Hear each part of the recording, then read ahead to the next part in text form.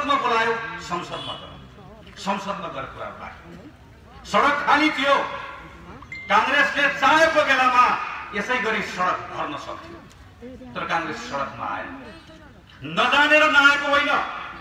आउन नसकेर नआएको होइन। सरकारलाई मद्दत गर्न आफ्नो जिम्मेवारी बुझेर नआएको आज तपाईँहरूको बिचमा यसरी आउनु परेको छ। यसरी आउँदै गर्दा धेरै खुसी लागेको छैन। कोरोना महामारी नियन्त्रणमा आइसकेको छैन। अगाडिका दिनहरू कस्ता हुन्छन् हामी कसैले पनि भन्न सक्दैन। तर पनि आज हामी सडकमा आउन बाध्य भएका छौँ। सरकार संसदबाट भाग्यो बालुवाटारको दुलोभित्र लुकेर षड्यन्त्र गरेको सरकारलाई संसदबाट भागेको सरकारलाई ललकार्नका निम्ति बरालिएको सरकारलाई ठेगानमा ल्याउनका निम्ति आज काङ्ग्रेस सडकमा आएको छ। अब घर फर्केर जाँदैन। जबसम्म सरकार ठेगानमा आउँदैन तबसम्म काङ्ग्रेस सडकमा आइरहेको छ। सडकमा आउन बाध्य सरकारले बनाएको छ। यो क्रममा हुने हामी सम्पूर्ण सतर्कता अप्नाउँछौँ। तर यो सबैका बावजुद पनि कुनै क्षति हुन्छ भने यसको जिम्मेवारी पनि सरकार आफैले लिनुपर्छ। यो संसदमा नेपाल कम्युनिस्ट पार्टीको करिब करिब दुई तिहाई बहुमत छ। सातवटा प्रदेश मध्ये छवटा प्रदेशमा नेपाल कम्युनिस्ट पार्टीको सरकार छ। चार सय भन्दा बढी स्थानीय तहमा नेपाल कम्युनिस्ट पार्टीको साथीहरूले सरकार राख्नु भएको छ। सरकार शक्तिशाली छ तर जनतालाई शक्तिशाली बनाउनका निम्ति एउटा पनि काम गर्न सकेको छैन। नालायक सरकार मुर्दाबाद। देश र जनताको आकांक्षाप्रति पटक्कै पनि यसको संवेदना छैन। व्यक्ति पूजामा लागेको छ। तत्कालै गर्नुपर्ने काम गर्दैन। कहिले कुरा नहुने हावादारी कुरामा देश र जनतालाई झुक्क्याउँछ। हावादारी सरकार मुर्दाबाद। मुखले भ्रष्टाचार गर्दिन भनेर भन्छ। भ्रष्टाचार सहन्न पनि भनेर भन्छ। तर वाइट बडी खर्लपै खान्छ। सेक्युरिटी प्रेस खर्लपै खान्छ। बालवाटारको जग्गा खर्लपै खान्छ यति ग्रुपसँग साँठगाँठ गर्छ। त्यति मात्र होइन कहिले आजसम्म नेपालमा कसैले नगरेको? बजेट भाषण हुनुभन्दा पहिला व्यापारीलाई बोलाएर म राजस्वको दर यसरी तलमाथि गर्दैछु भनेर व्यापारीलाई पोस्ने काम गर्छ। त्यति मात्र होइन अख्तियार दुरुपयोग अनुसन्धान आयोगले छानबिन गरिरहेको भ्रष्टाचारको प्रकरणमा अख्तियार दुरुपयोग अनुसन्धान आयोगले दोषी दिने वा सफाई दिने फैसला गर्नुपर्नेमा प्रधानमन्त्री आफैले अख्तियारको प्रमुख भन्दा पहिला यो निर्दोष भनेर घोषणा गरिदिनुहुन्छ। भ्रष्टाचारीको संरक्षण गर्ने प्रोत्साहन गर्ने भ्रष्टाचारी सरकार लकडाउन गर्यो हामीलाई घरमा राख्यो। महिनौसम्म घरमा थुन्यो तर आफूले सिमको पनि भाँचेको श्रमजीवीहरू मजदुरहरू त्यत्रो लामो यात्रा हिँडेर स्वदेश फर्काउने ठाउँमा समेत पनि टिकटमा कमिसन खायो स्वास्थ्य सामग्री खरिदमा भ्रष्टाचार गरेर यो सरकारले सिङ्गो विश्वको अगाडि शिर झुकाउनु पर्ने अवस्था बनायो। यस्तो अकर्मणीय सरकार मुर्दाबाद। भारतले लिम्पियाद्वारा खायो लिपुले खायो संसदले आदेश दियो सरकारलाई। नक्सा सार्वजनिक गर्नु। प्रतिपक्षी दलले आदेश दियो सरकारलाई। नक्सा बना। प्रधानमन्त्रीले व्यङ्ग्य गरेर बस्नुभयो। देशभक्त जनता सडकमा ओर्ले पछाडि संसदभित्र सारा जनताको आवाजलाई एकबद्ध बनाइसके पछाडि बागदेवर नक्सा सार्वजनिक गर्यो तर नक्सा सार्वजनिक गरिसके पछाडि बाध्य भएर गरेको प्रधानमन्त्रीले आफ्नै पार्टीभित्रको झगडामा मलाई हटाउनका निम्ति मेरै पार्टीका नेताहरूलाई भारतले उचालेको छ भनेर गैर जिम्मेवारी पूर्ण ढङ्गबाट प्रस्तुत हुनुभयो। गैर जिम्मेवार गैर जिम्मेवार सरकार शान्ति प्रक्रियाको बाँकी रहेको कामहरू सम्पन्न गर्नुपर्ने बेला सत्य निरूपण मेलमिलाप आयोग बेपत्ता आयोगको कामलाई ठिकठाक बनाउनु पर्ने बेलामा पार्टीभित्रको झगडामा आफूलाई माथि पार्नका निम्ति विदेशीहरूको षड्यन्त्रमा उनीहरूलाई बल पुग्ने गरी द्वन्द्वका घाउहरूलाई उक्काउन खोज्ने षड्यन्त्रकारी सरकार मुर्दाबाद। तपाईँहरू सबैले मसँग मुर्दाबादको नारा लगाउनु भयो। तर यो सबै कुराहरू जो मैले भने यो मैले भनेको होइन। यो केही दिन अगाडि नेपाल कम्युनिस्ट पार्टीको अध्यक्ष पुष्पकमल दाहालले भन्नुभएको कुरा पुष्पकमल दाहालले मात्र होइन यो लेख्ने मान्छे को हो। कमरेड माधव नेपाल। दौलत खनाल कमरेड वामदेव गौतम वाह Nepal communist party Nepal communist party जसको पूर्व प्रधानमन्त्रीहरूले आफ्नो प्रधानमन्त्रीका बारेमा भनेको कुरा मैले तपाईँहरूलाई पढेर सुनाए अनि हामीले उहाँहरूको नाटक हेरेर बस्नु परेको छ। आज उहाँहरू बैठक बस्नुभयो। हामीले पत्रिकामा पढ्यौँ जुत्ताको बाहिर मोजा लगाउनु भयो आज उहाँहरू बैठक बस्नुभयो। आज उहाँले सोफा छाडेर पिर्कामा बस्नुभयो हामी नेपाली जनता यही सुन्नका निम्ति बाध्य भएका छौँ। गए दिन कमरेडहरू अब। तपाईँहरूको लोलो पतो मिलाउनुहोस् के गर्नुहोस् हामी थाहा छैन। तर यो लेखेको कुराको हिसाब किताब अब हामीलाई चाहिन्छ। हामी माग्छौँ हिसाब किताब। मैले सार्वजनिक मञ्चबाट भनेको छु यो लेख्ने पुष्पकमल दाहाल यसमा हस्ताक्षर गर्ने माधव नेपाल र जगन्नाथ खनालले कि भन्नुहोस्। तिहारको बेला थियो खानपिन चलेको थियो बेसुर भएको बेलामा लेख्यो भनेर तपाईँले भन्नुभएको छ मेरो देशको प्रधानमन्त्री भ्रष्ट तपाईँले भन्नुभएको छ मेरो देशको प्रधानमन्त्री राष्ट्रघाती। तपाईँले भन्नुभएको छ मेरो देशको प्रधानमन्त्री अकर्मण्य अयोग्य। तपाईँले नेपाल कम्युनिस्ट पार्टीको अध्यक्षले नेताले सांसदले जसले प्रधानमन्त्री बनायो। अनि त्यो प्रधानमन्त्री हामीले बोकेर हिँड्नु पर्ने तपाईँहरूको कुरा हामीले मानिदिनु पर्ने तपाईँले भन्नुभयो भनेर होइन। हामीले त योभन्दा धेरै पहिला भनेको वैशाख सत्र गते नेपाली काङ्ग्रेसले विधिवत रूपमा आफ्नो बैठकबाट निर्णय गरेर भन्यो यस्तो महाव्याधिको बेलामा पनि भ्रष्टाचार गर्ने सरकार अपराधी हो पापी हो। यो त कसैले हो यो यो कुनै पनि सामान्य मान्छेले कल्पना पनि गर्न सक्दैन। एउटा राजनीतिक कर्मीले कल्पना पनि गर्न सक्दैन। यस्तो बेलामा भ्रष्टाचार गर्छ। यो सरकार त्यस कारणले गर्दा प्रधानमन्त्री ओलीको सरकारले शासन गर्ने वैधता गुमाएको छ नैतिकता गुमाएको छ। हामीले त बकैदासँग पार्टीको बैठकबाट सत्र गति नै निर्णय गरेर भनेका यो निर्णय गर्ने अवस्था त्यतिकै आएको होइन। एक रातमा आएको होइन। काङ्ग्रेसले सन्केर गरेको पनि होइन कुनै लहरमा आएर गरेको पनि होइन। दुई हजार साठी सालमा नेपाली कङ्ग्रेसका तत्कालीन सभापति पूर्व प्रधानमन्त्री गिरिजा प्रसाद कोइराला तपाईँहरूको जिल्ला कैलालीको धनगढी आउनुभएको थियो। यहाँ आएको बेलामा मलाई गाउँको नाम सम्झना छैन तर हाम्रो पार्टीको एकजना साथीलाई माओवादीले दिन दहाडै गोली हालेर मार्यो गिरिजा प्रसादले भन्नुभयो म त्यहाँ जान्छु। म मेरो साथीलाई चार तारा झन्डा उडाउन चाहन्छु। प्रशासनले भन्यो तपाईँ जान पाउनुहुन्न। आफ्नै पार्टीको साथीलाई झन्डा उडाउन नपाइसके पछाडि त्यो पिरको भारी बोकेर काठमाडौँ फर्किनु भएको गिरिजा प्रसादले पार्टीका साथीहरूलाई बोलाएर भन्नुभयो यस्तो राजनीतिको केही पनि अर्थ छैन। मेरो साथी दिन दहाडै मारिन्छ। म त्यहाँ झन्डा उडाउन जान पाउँदिनँ। म त्यहाँ फुल उडाउन जान पाउँदिनँ। म यो राजनीतिलाई बदल्छु। हिंसाको आहालबाट नेपाललाई बाहिर निकाल्छु। एकपटक सम्झना आग्रह गर्न चाहन्छु म पार्टीका प्रत्येक साथीलाई।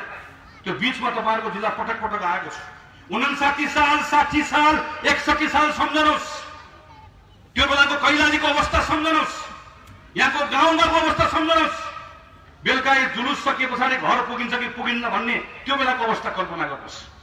हामी कस्तो त्रासमा बाँचेका थियौँ।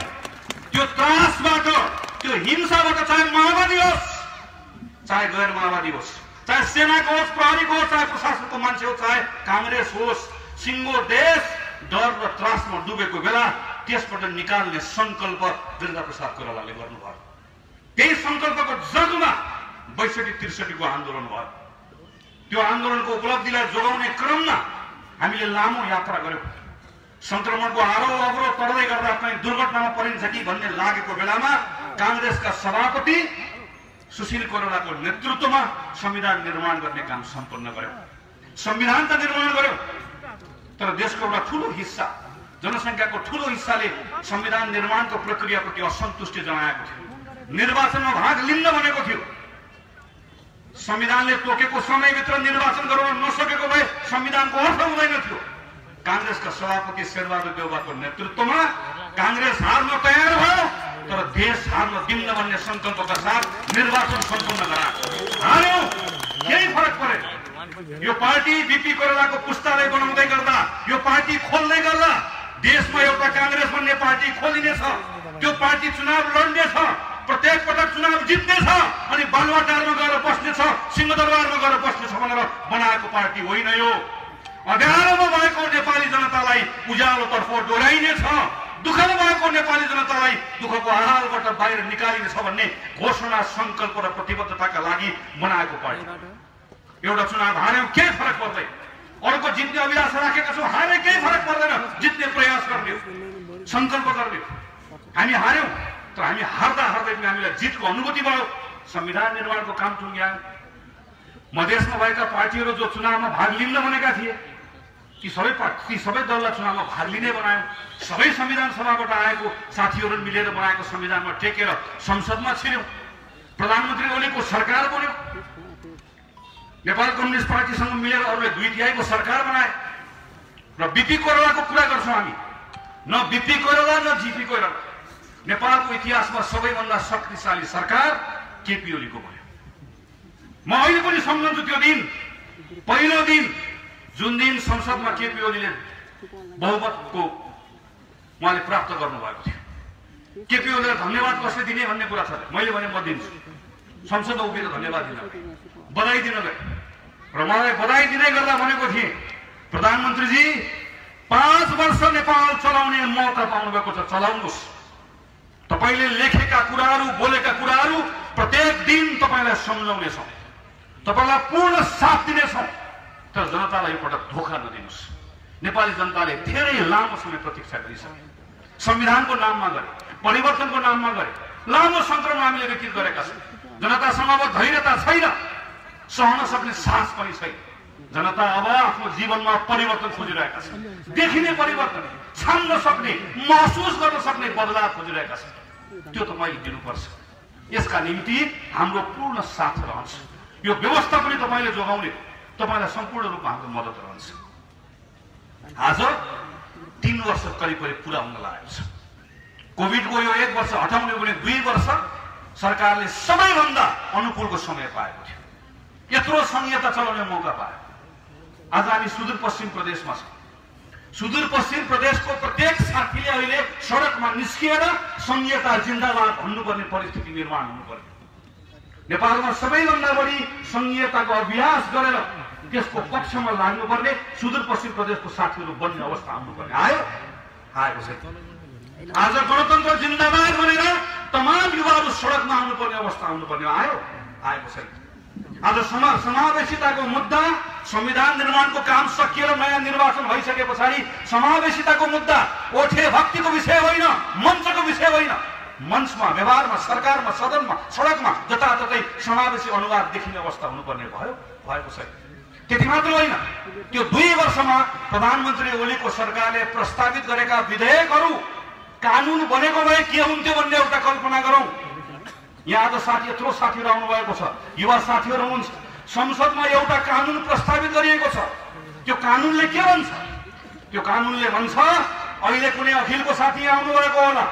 मेरो भिडियो खिच्नु भएको होला। तपाईँ फर्केर जानुहोस्। मेरा बारेमा तथा नाम लेख्नुहोस्। तपाईँलाई छुट छ। तपाईँले लेख्न पाउनुहुन्छ। तपाईँको हक हो तपाईँको अधिकार हो। तर यो कानुन पारित हो भने के भन्छ? केपी ओली भगवान हो भनेर लेख्नुहोस्। लेख्न पाइन्छ। तर केपी ओली मुर्दाबाद हो भनेर तपाईँको फेसबुकमा गएर लेख्नुहोस्। तपाईँलाई पाँच वर्षभित्र लगेर कोच्न पाइन्छ। यो कानुन मैले भनेको होइन। यो कानुन संसदमा प्रस्तावित छ। तपाईँलाई बेलुका जिल्ला प्रशासन कार्यालयको आदेश लिएर प्रहरी तपाईँको घरमा आइपुग्छ। आज प्रचण्ड जिन्दाबाद भन्ने माधव नेपाल जिन्दाबाद भन्ने युथ कोचको केटाको घरमा पनि आइपुग्न सक्छ। आउँछ र भन्छ कि केपी ओली जिन्दाबाद भन्। होइन भने हिजो साँझ फेसबुकको स्ट्याटसमा केपी ओली मुर्दाबाद किन लेख्यो? यो नेपालको सूचना प्रविधि ऐनको धारा यतिको दफा यतिको खिलाफ भएकोले तिमीलाई हिरासतमा लिएको छ। प्रहरीले हिरासतमा लिएर जान्छ। मुद्दा चलाउँछ। अनि मुद्दा तपाईँको जिल्ला अदालतमा होइन। सरकारले तिनजना मान्छे छानेर बनाएको एउटा छुट्टै बेन्च हुन्छ। सरकार आफैले छान्छ। र छानेको त्यही बेन्चले निर्णय गर्छ। र भन्छ यो मान्छे जसले लेख्यो यो कानुनको खिलाफमा गएको हुनाले गर्दा उसलाई पन्ध्र लाख रुपियाँ जरिवाना गरिएको छ। पाँच वर्ष हिरासतमा राख्ने पाँच वर्ष बन्दी बनाउने उसलाई निर्णय गरिएको छ। भन्न पाइन्छ कानुनमा टेकेर। यस्तो कानुन प्रधानमन्त्री ओलीको सरकारले अहिले संसदमा ल्याएर टेबल गरेको छ। संहिता मान्दैन गणतन्त्रको आदर्शलाई मान्दैन समावेशितालाई स्वीकार्दैन लोकतन्त्रको आत्मा र मर्मलाई मार्न खोज्दछ। अनि व्यवहार हामीले हेऱ्यौँ भने हिजो कुनै बेला त्रिभुवन संस्कृत विश्वविद्यालयको भिसी कुलप्रसाद कोइरालालाई एयरपोर्टमा उठाएर ल्याएकोदेखि सम्झनुहोस्। नेपाली कङ्ग्रेसका वरिष्ठ नेता रामचन्द्र पौडेललाई तनहुमा गएर लट्ठी बजारमा जाने सरकारको नियत एकपटक हेर्नुहोस्। एउटै कानुन बनाउँछ लेख्न नपाउने बोल्न नपाउने प्रहरीलाई आदेश दिन्छ भिसीलाई उठाएर एयरपोर्टबाट ल्याए काङ्ग्रेसको नेताको टाउकोमा डन्डा बजार भनेर आदेश दिन्छ। यो प्रधानमन्त्री ओलीको सरकार।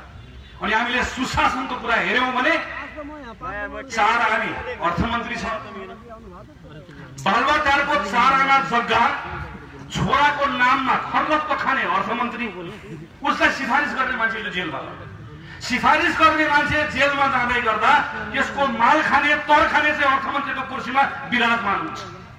निर्मला पञ्चदेखि निर्जला चौधरीसम्मको बलात्कार र हत्याकाण्डको संरक्षण गर्ने मान्छे गृहमन्त्री बालुवाटारको जग्गा हडप्ने मान्छे अर्थमन्त्री अनि प्रधानमन्त्रीको सबैभन्दा ठुलो विशेष मन्त्री स्वास्थ्य सामग्रीको सामानमा कमिसन खाने प्रधानमन्त्रीको सबैभन्दा ठुलो विश्वास पात्र।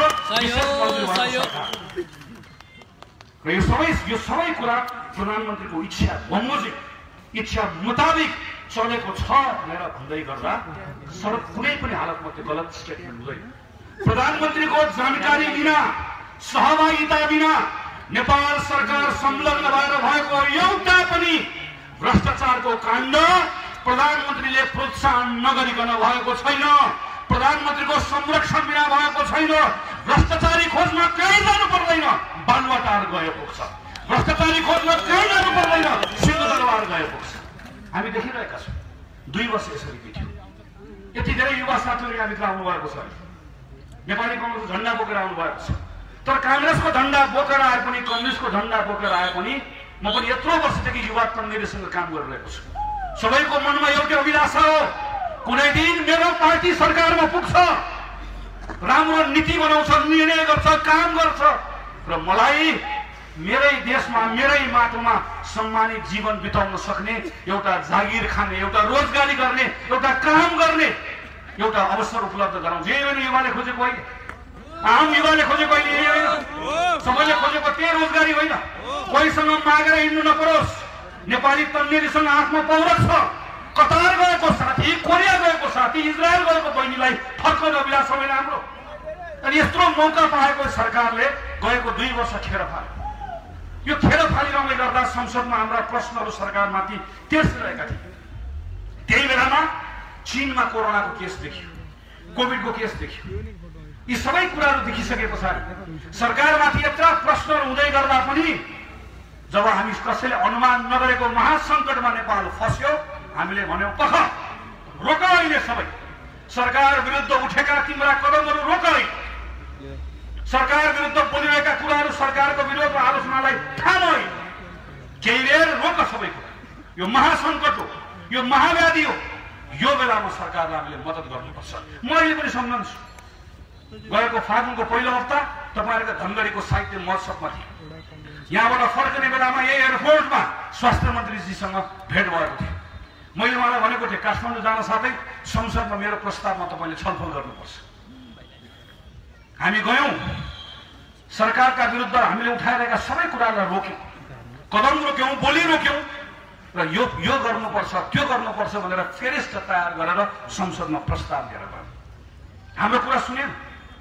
हाम्रो कुरा मात्र सुनिएको भए आज आठ नौ महिना खेर जाँदैन थियो त्यही बेलामा भारतबाट नेपालतिर छिर्दै गरेको साथीहरूलाई यहाँ आउँदै गर्दाखेरिको त्यो त्यो बेलामा चैत्रमा मैले भनेको अहिले पनि सम्झन्छु। चैत्रमा त्यो बेलामा वैशाख र जेठमा हजारौँको संख्यामा हाम्रा साथीहरू भारतबाट नेपाल आउँछन्। ती साथीहरूका निम्ति मात्रै व्यवस्थित क्वारेन्टिन बनाउन सक्यौँ भने त्यति मात्रै गर्न सक्यौँ भने केही करोड रुपियाँको कुरा हो। सरकारको ढुकुटीमा पैसा छ हामी पनि मद्दत गर्न तयार छौँ गर्न सकिन्छ भनेर सुनेन सरकारले बनाएको कोषमा सबैभन्दा पहिला बोरामा पैसा बोकेर पचास लाख रुपियाँ बोकेर काङ्ग्रेस गयो। योभन्दा पहिलाका प्रकोपहरू सम्झनुहोस्। भूकम्प आउँदै गर्दा बाढी आउँदै गर्दा चाहे काङ्ग्रेसको सरकार होस् चाहे एमएलएको सरकार होस् सरकारमा बसेकोले काम गर्दै गर्दा सरकारमा बस्ने कामले गरेको काममाथि आशंका गरेर प्रतिपक्षले जहिले पनि सरकारमाथि भरोसा छैन सरकारलाई हिनामिना गर्छ। हामी आफै राहत बाँड्छौँ भनेर भन्दै। तर यो पटक काङ्ग्रेसले भन्यो होइन हामी सरकारलाई मद्दत गर्छौँ। सरकारको कोषमा पचास लाख रुपियाँ पैसा ठुलो होइन होला तर तपाईँको पैसा परेको छ। क्रियाशील सदस्य साथीहरूको पैसा परेको छ। पचास लाख रुपियाँ पैसा हामीहरू जम्मा गर्न सुन्यो हाम्रो कुरा? गर्यो काम। गरेन आज आठ नौ महिना पछाडि अवस्था के भएको छ? अहिले त केही देखिएको छैन। अब केही दिनपछि देखिन थाल्छ। यत्रो वर्ष मेहनत गरेर हामीले बनाएको हाम्रो स्वास्थ्यको जुन पद्धति छ हाम्रो उपलब्धिहरू जुन छन् एक पछि अर्को हाम्रा उपलब्धिहरू एक पछि अर्को ओह्रालो लाग्ने अवस्था भएको छ। हाम्रो विद्यालयहरूको हालत के छ? आज आठ नौ महिना जुन क्षति हामीले बेहोरेका छौँ हाम्रो केटाकेटीले पढ्न नपाएर यसको ठुलो मूल्य भविष्यमा नेपालले चुकाउनु पर्छ। किसानले मल नपाएको कुरा हामीले गर्यौँ। आज किसानले मल र बिउ समयमा नपाएको बजार नपाएको कुराको किसानको परिवारले मात्र होइन नेपालको अर्थतन्त्रले आगामी दिनमा ठुलो मूल्य चुकाउनु पर्छ। हजारौँको सङ्ख्यामा युवा साथीहरूले नयाँ व्यवसाय प्रारम्भ गरे। ब्याङ्कबाट ऋण लिएर गरे चलिरहेका व्यवसायीहरूले पनि गरे। कोठा भाडा तिर्न नसकेका व्यवसायीहरू होटल रेस्टुरेन्ट चलाएका बस चलाएका सानो सानो व्यवसाय गरेका टेम्पो चलाएका ट्याक्सी चलाएका यस्ता कैयन कैयन व्यवसायीहरू छन् स्वरोजगार भएका। ती सबको बिजोग भएको छ। ती सबलाई मद्दत गर्न सकिन्छ। काङ्ग्रेसले सदनमा उभिएर भन्यो दुई खरबको यो बेलामा दुई खरबको स्टिमुलसको उत्प्रेरणाको प्याकेज लिएर आऊ भनेर प्रतिपक्षी दलले भन्यो। सांसद विकास कोष नबाड। यो वर्ष पाँच करोड छ करोड एक रुपियाँ पैसा नदियो। कसले भन्यो? काङ्ग्रेसले भन्यो। दसैँ भत्ता नबाड कसले भन्यो? काङ्ग्रेसले भन्यो। तल भत्ता सुविधा चाहिँदैन। भक्कै बस्छौँ तर यो बेलामा किसानको कुरा सुन श्रमिकको कुरा सुन। रोजगारी गुमाएका युवाको कुरा सुन। विदेशबाट रोजगारी गुमाएर फर्किएका छन्। यहाँ बसिरहेकाले रोजगारी गुमाएका छन्। यिनको कुरा सुन भनेर दर्जनौ पटक काङ्ग्रेसले भन्यो सुन्यो? सुनेन। तर केही दिन अगाडि प्रधानमन्त्रीले बोलाउनु भएको सर्वदलीय बैठकमा सहभागी हुनुभएको हाम्रो नेताहरूले भन्दै हुनुहुन्थ्यो प्रधानमन्त्रीले बैठक कसरी सुरु गर्नु भयो अरे भने देशभरि राम राज्य छ। सारा मान्छे खुसी छन्। अस्ति मात्रै पहाडको एउटा जिल्लामा गएको प्रधानमन्त्री ओली जिन्दाबाद भनेर नारा लगाइरहेका थिए।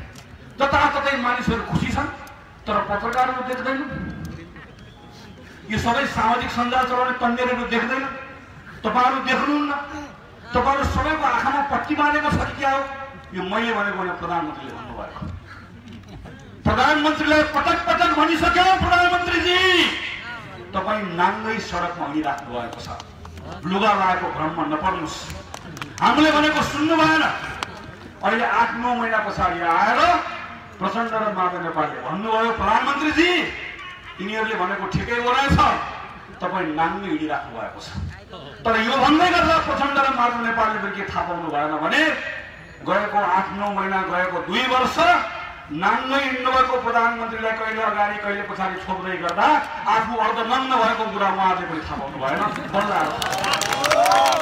तर धेरै ढिलो भयो कमरेडहरू धेरै ढिलो भयो जनताको ठुलो अपेक्षा थियो यो सरकारसँग ठुलो अपेक्षा थियो म अहिले पनि सम्झन्छु त्यो दिन।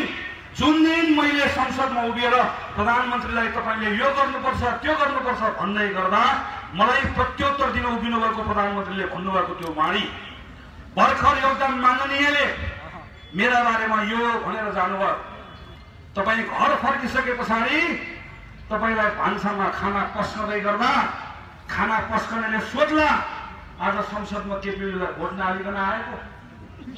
घरमा जाँदै गर्दा तपाईँको गाडी छ र तपाईँको चालक छ भने तपाईँको चालकले तपाईँलाई सोध्ला मान्यज्यू आज केपीलाई भोट नहाले आउनु भएको त्यो बेलामा के उत्तर दिनुहुन्छ भनेर मलाई व्यङ्ग्य गरेको म सम्झन्छु। त्यो व्यङ्ग्य गर्दै गर्दा नेपाल कम्युनिस्ट पार्टीका साथीहरूले केवल ठोकेको म सम्झन्छु। मुटुले चर्कने गरिकन उहाँले त्यो विश्वास छ आफ्नो प्रधानमन्त्रीप्रति प्रधानमन्त्री केपी ओलीप्रतिको भरोसा नेपाल कम्युनिस्ट पार्टीका साथीहरू।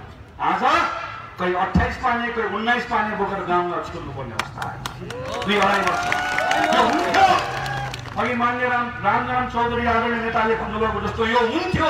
यो किन हुन्थ्यो भने नेपाल कम्युनिस्ट पार्टी भन्ने यो पार्टी नै होइन। यो लोभी पापीहरूको एउटा मञ्च मात्रै। नेपाल कम्युनिस्ट पार्टी पार्टी कहिले बन्यो? प्रचण्ड नेपाली काङ्ग्रेसको सरकारमा सम्मिलित हुनुहुन्थ्यो प्रधानमन्त्री बेलामा नेपाल कम्युनिस्ट पार्टी एमालेको अध्यक्ष ओली हुनुहुन्थ्यो ओली र प्रचण्डको सम्बन्ध कस्तो थियो ओलीले प्रचण्डसँग हात मिलाउँ भनेर एकचोटि भन्दै गर्दा महेश आचार्यले कथा सुनाउनुहुन्थ्यो हात मिलाउनुहोस् न भन्दै गर्दा हात मिलाउन रगत लागेको छ भनेर भन्नुहुन्थ्यो। त्यो सम्बन्ध भएको मान्छे रातारात एउटा व्यवसायको घरमा बसेर हात मात्र होइन मन पनि मिल्यो मुटु पनि मिल्यो भन्दा गीत गाउँदै कविता कहाँबाट मिल्यो?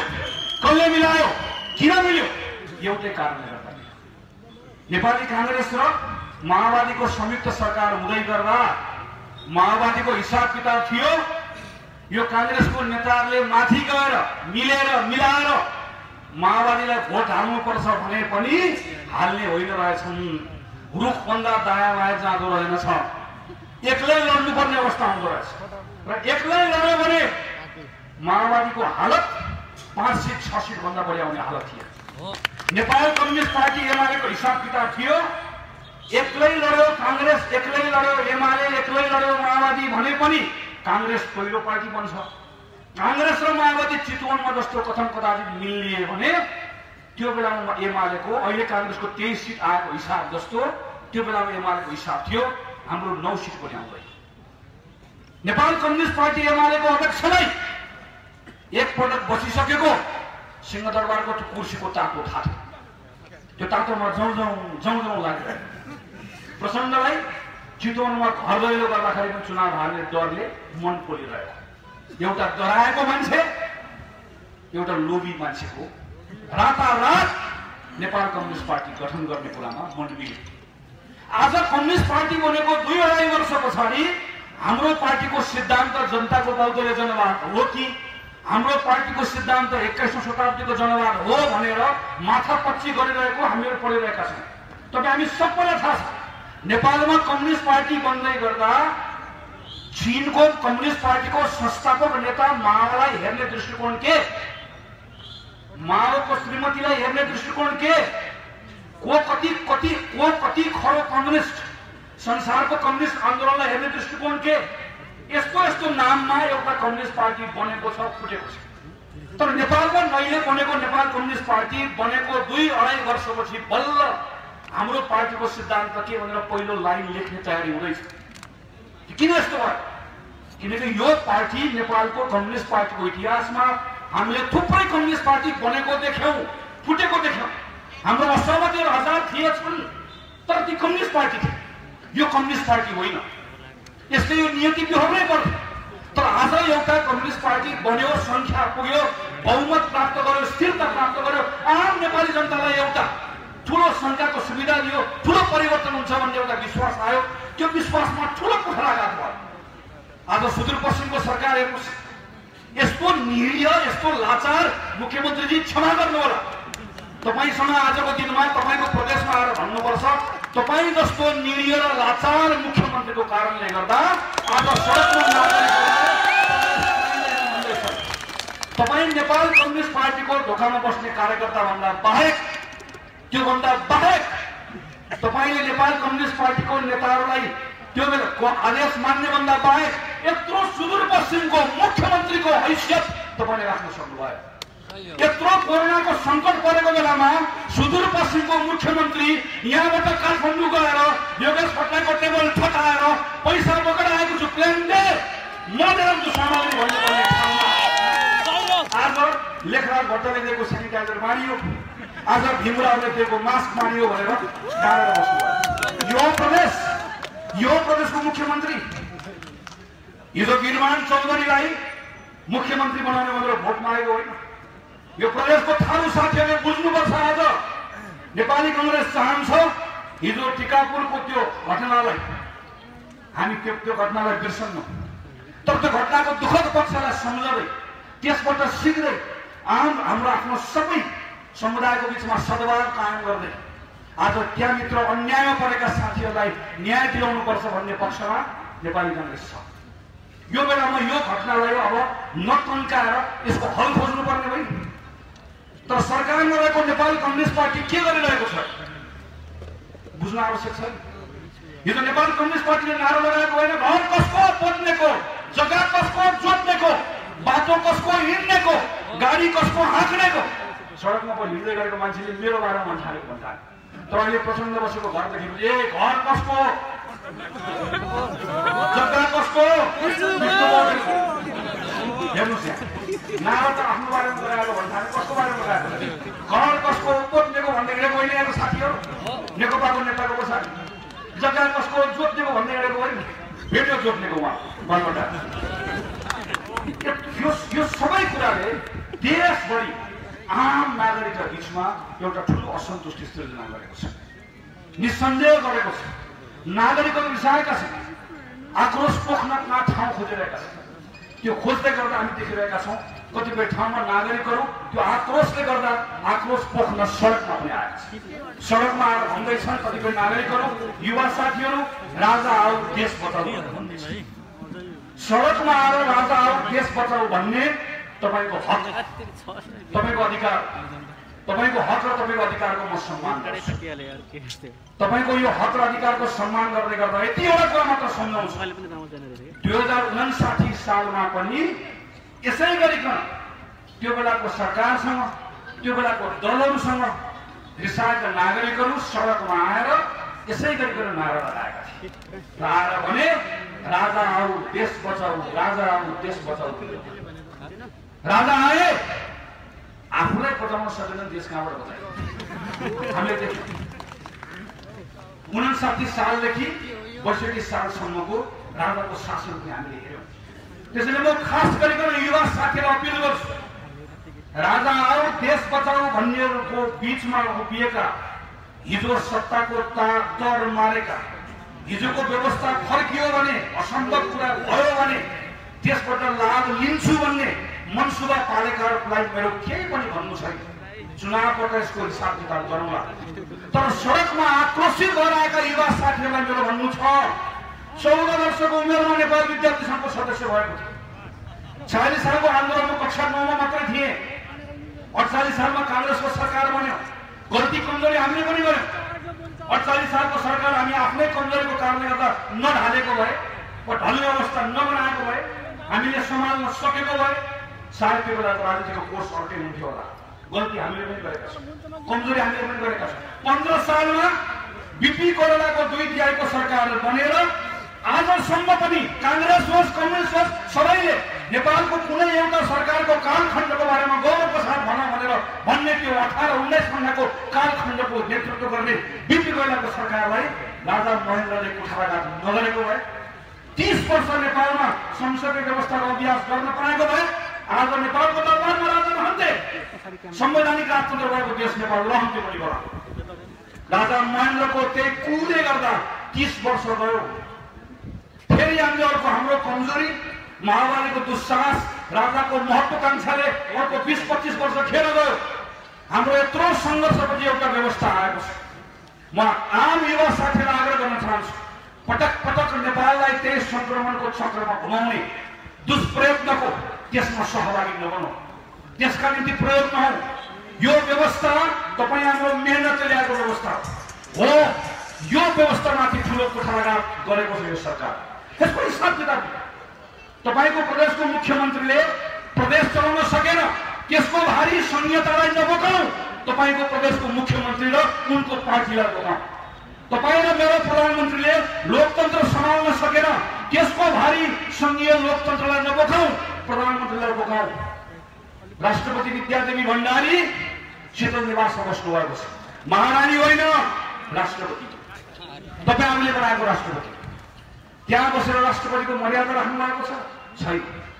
प्रचण्ड र केपी ओलीको झगडा मिलाउने जिम्मेवारी राष्ट्रपतिको होइन। यो तामझाम चित्त बुझेको छ छैन। चित्त बुझेको छैन हिसाब किताब गरौँ। म मेरै निर्वाचन क्षेत्रको तपाईँको ठाउँमा भन्दैछु श्रद्धेय स्वर्गीय मदन भण्डारीले बोल्नु भएको उहाँको भाषणको एउटा एउटा वाक्य उद्धृत गरेर दोहोऱ्याएर राष्ट्रपति श्री पाँच बडा महारानी बन्न खोज्नु भएको राष्ट्रपति विद्यादेवी भण्डारीलाई भन्दैछु। राष्ट्रपति महोदय! आँखा नचम्काइ बक्सोस् हात नचम्काइ बक्सोस् हिम्मत छ भने काठमाडौँमा चुनाव लड्न राष्ट्रपतिसँग चित्त बुझेको छैन। राजालाई त सडकबाट फाल्यौँ। राष्ट्रपतिलाई सडकमा ल्याउने हिम्मत राखौँ। हामीले व्यवस्था यो हो। यो सङ्घीय लोकतान्त्रिक गणतन्त्र। यहाँभित्र यसको हिसाब किताब गर्ने अधिकार आम नेपाली जनतासँग छ। हामी कहिले यो व्यवस्था राजाले जोगाइदिएर भनेर गएका छौँ। तपाईँ र मेरो धर्म कुनै अमुक व्यक्तिले जोगाउँछ। सनातनदेखि चलिआएको तपाईँ र मेरो हिन्दू धर्म तपाईँ र मेरो बौद्ध धर्म हाम्रो थारू लगायतको आदिवासीले मान्ने धर्म जोगाउने जिम्मा जोसुकै प्रधानमन्त्रीको कुर्सीमा बसोस् त्यो जिम्मा लिएर गएको हुनुपर्छ। त्यो जिम्मा उसको हो।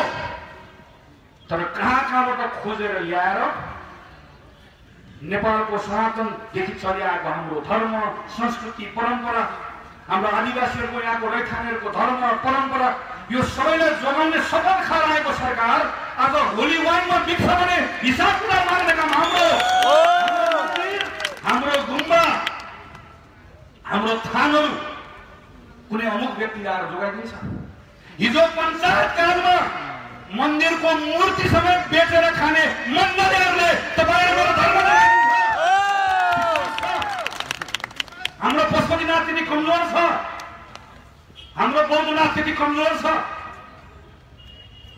हाम्रो कुनै हाम्रा हाम्रा ठानहरू हाम्रो आस्था हाम्रो विश्वास त्यति कमजोर छैन कसैलाई आएर जोगाइदिनु पर्यो हो कमी कमजोरीहरू भएका छन् हाम्रो वरिपरि भएका छन् हामी देखिरहेका छौँ थुप्रै सन्दर्भ कमी कमजोरी गरिएका छन् यी कमी कमजोरीहरूलाई सुधार्नका निम्ति जवाब दिने काम हाम्रो यसलाई ठिकठाकमा ल्याउने काम हाम्रो त्यसैले म आम साथीहरूलाई आग्रह गर्न चाहन्छु यो बेलामा यत्रो लामो सङ्घर्ष पछाडि सङ्घीय लोकतान्त्रिक गणतन्त्रात्मक व्यवस्था जुन हामीले ल्याएका छौँ यसको यसको अभ्यास गर्दै गर्दा जो शक्तिशाली सरकार चलाउने मौका पाउनुभयो प्रधानमन्त्री ओली नेपालको इतिहासको सबैभन्दा अकर्मणीय अयोग्य प्रधानमन्त्री साबित हुनुभएको छ र नेपाल कम्युनिस्ट पार्टी आजको दिनमा मैले अघि पनि भने यो एउटा राजनीतिक पार्टीको रूपमा यो पार्टी आउन सकेन यसले आफूलाई स्थापित गर्न सकेन त्यसको ठुलो मूल्य हामीले चुकाउनु परेको छ।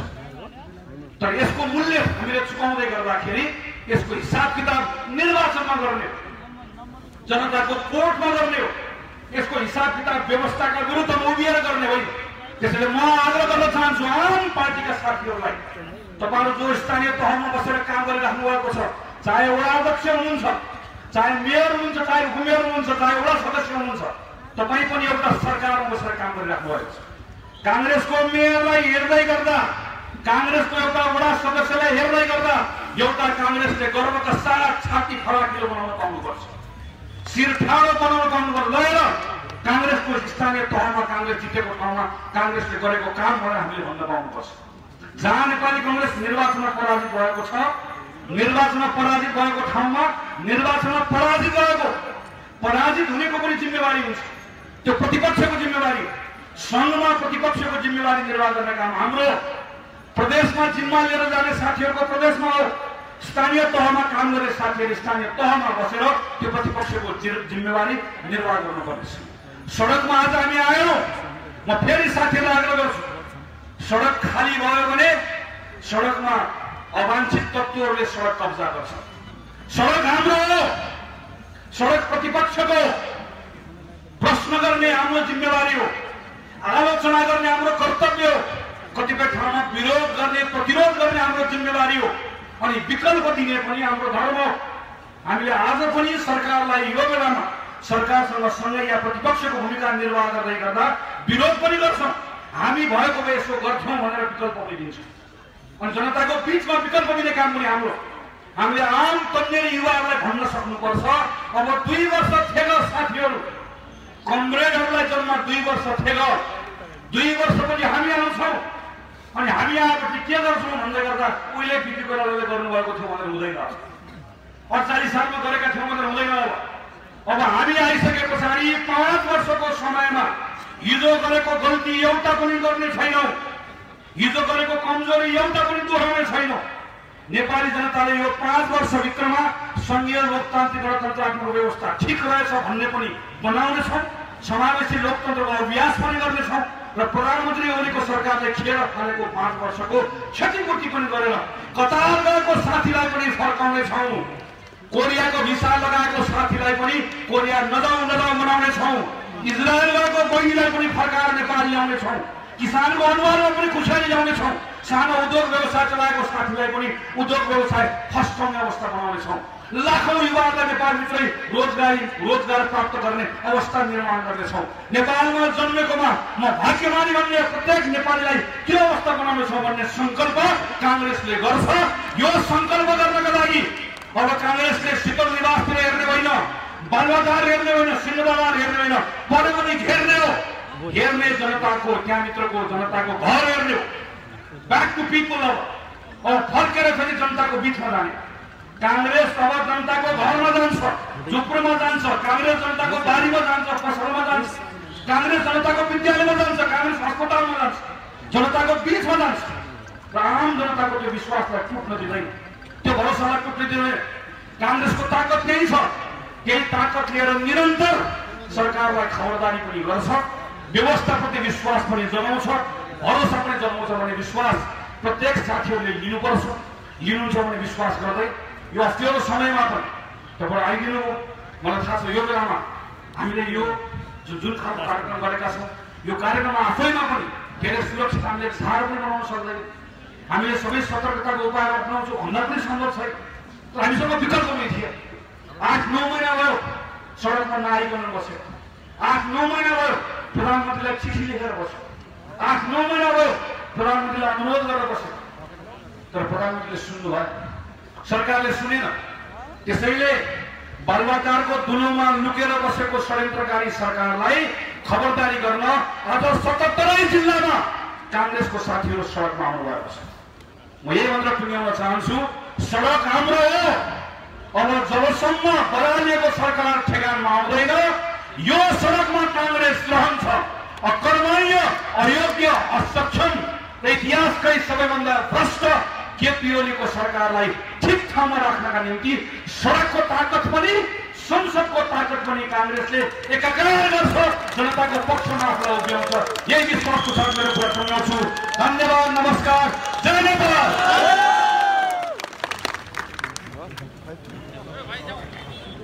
आदरणीय नेपाली काङ्ग्रेसका केन्द्रीय सदस्य नेपाली जनताका हुकुकी नेपाली काङ्ग्रेसका युवा नेता माननीय गगन कुमार थापाज्यू र यहाँ आउने महत्त्वपूर्ण विचारहरू यहाँको माझमा राखेर गइसक्नु भएको छ र आजको यस कार्यक्रमलाई समापन गरिदिन हुन नेपाली काङ्ग्रेस कैलालीका उपसभापति तथा आजको यस कोण सभाका सभापति आदरणीय नेता प्रकाश बमज्यूलाई यस मञ्चमा निम्त्याउँदै म कार्यक्रम सञ्चालक पूर्ण कुँवर पनि बिदा हुन्छु। धन्यवाद जय नेपाल।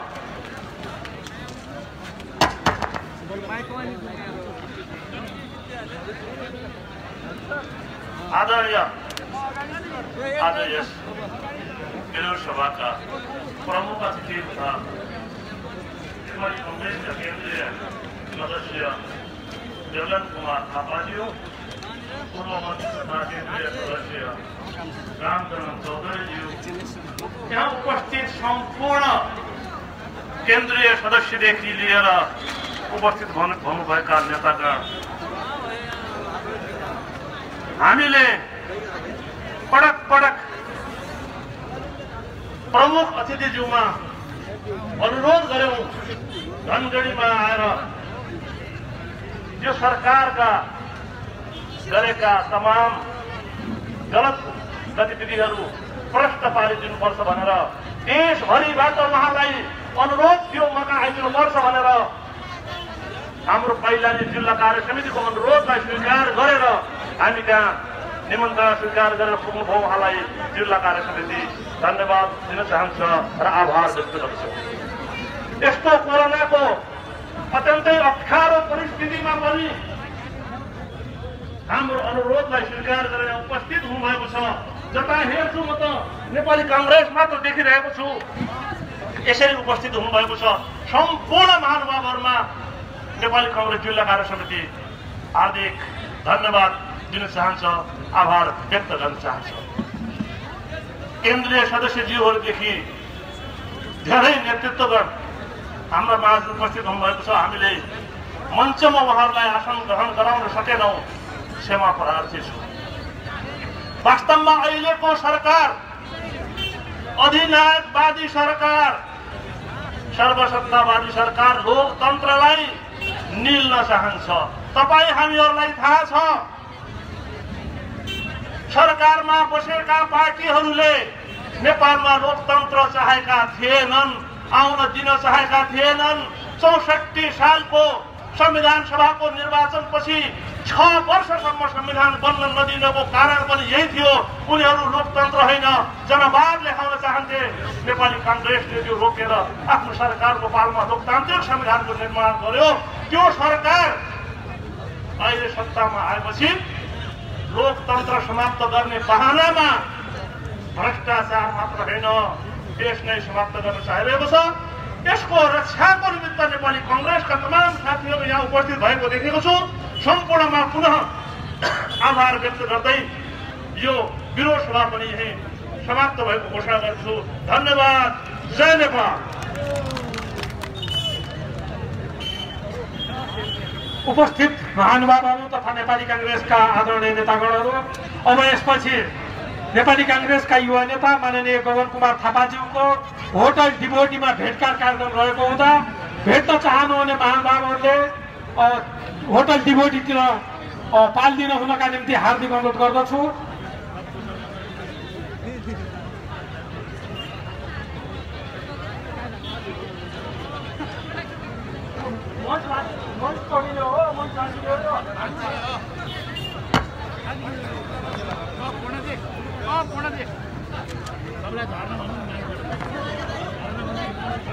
मन खस्छ होला।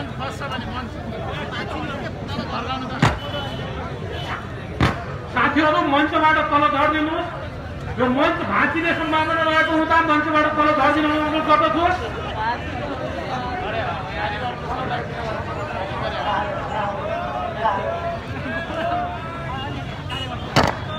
युवा साथीहरू माननीय ज्यूलाई तल झरिसकेपछि तलपट्टि गएर फोटो खिच्न अनुरोध गर्दछु। मञ्च भाँचिन सक्छ।